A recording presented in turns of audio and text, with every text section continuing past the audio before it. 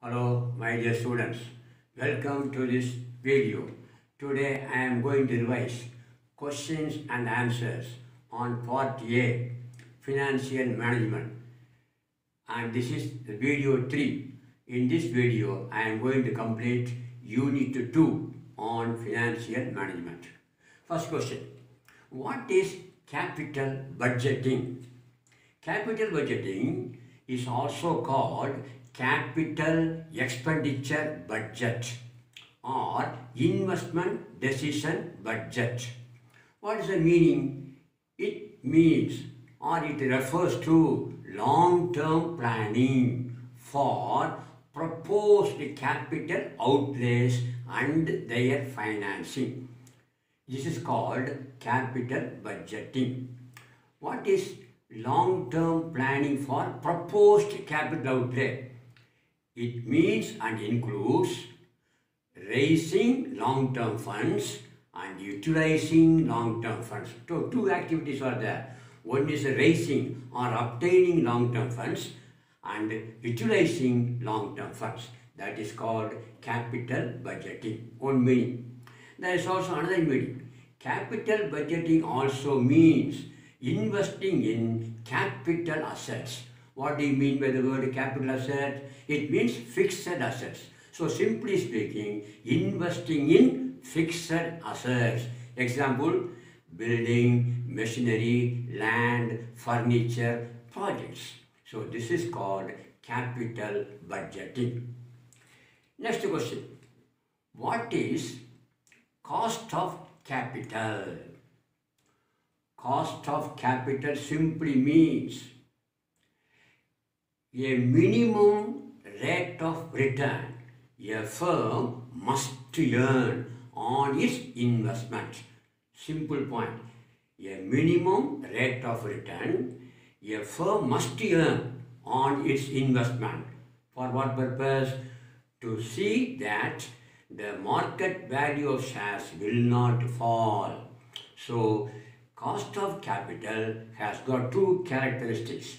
One is earning or maintaining minimum rate of return that a firm wants to earn.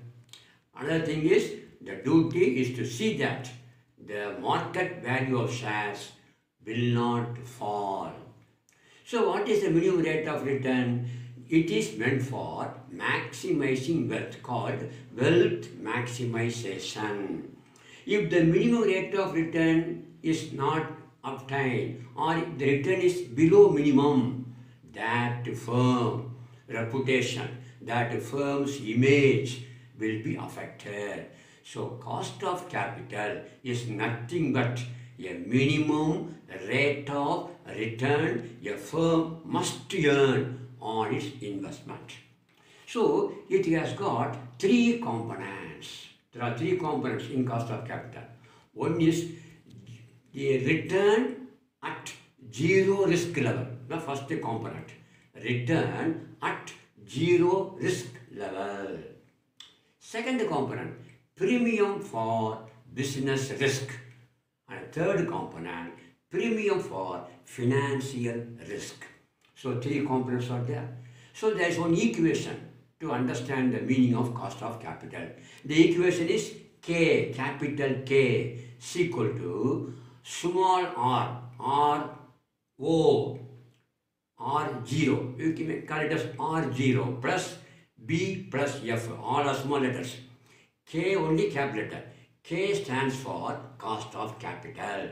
So K is equal to small r0. What is r? Return at zero risk level. That is called r0. Plus B. B stands for premium for business risk. Plus F. F stands for premium for financial risk. So what's the equation? K is equal to R0 plus B plus F. This is called cost of capital.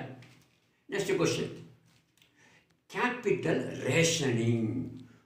What do you mean by the term capital rationing? It refers to putting restrictions on the investment of capital project and the capital assets. Why the company wants to have restriction on investment? Because the company has only limited funds. So the limited funds of the company should be utilized profitably and properly. So the company wants to restrict its investment for which three steps must be followed.